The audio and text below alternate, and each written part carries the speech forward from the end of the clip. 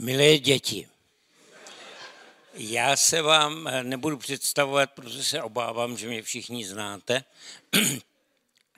A přišel jsem sem, abych si v těch osmi minutách zbavil jednoho traumatu, eh, který mě neustále pronásleduje eh, v nejrůznějších funkcích, které jsem měl eh, tu čest v posledních stoletech zastávat. A to je výskyt slova děti a dětská organizace. My nevedeme děti, my vedeme skauty a skautky. Ale všimněte si i tady, že my jsme si zvykli, a je to jediné, co jsme převzali od pionýru, jinak oni všechno přebírali od nás, takže jediné, co jsme si navykli, je mluvit o skautském hnutí jako o dětské organizaci. Jenže ti mladí lidé k nám vůbec nechodějí, protože chtějí být děti. Oni k nám chodějí, aspoň ti nejlepší z nich a ty, kteří přijdou sami, protože nechtějí být děti. Oni chtějí být. Uh, že především chtěli být vojáky. Že?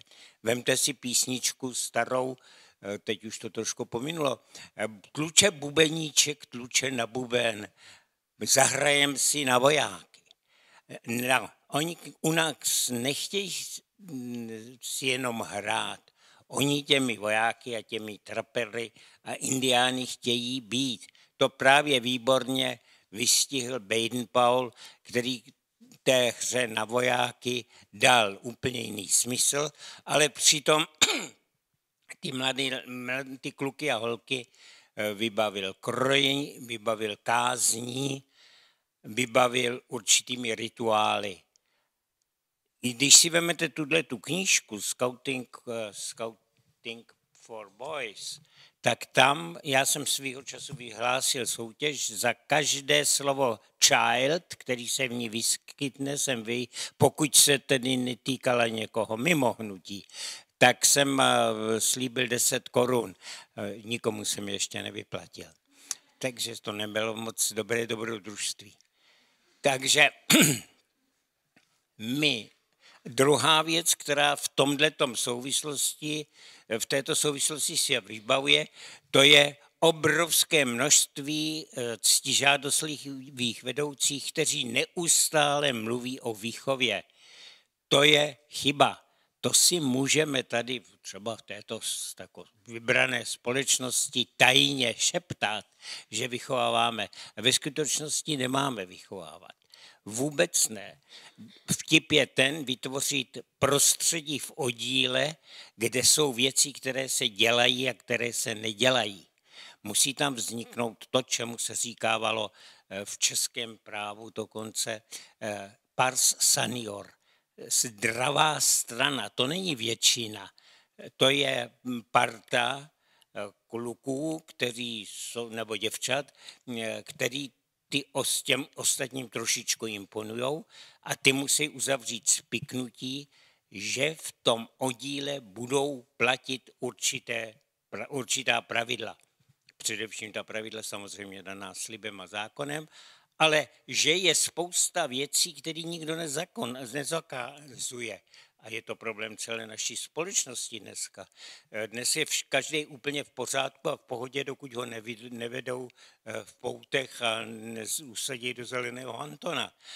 A ještě potom, ale ve skutečnosti o tohle to přeci ve společnosti vůbec nejde.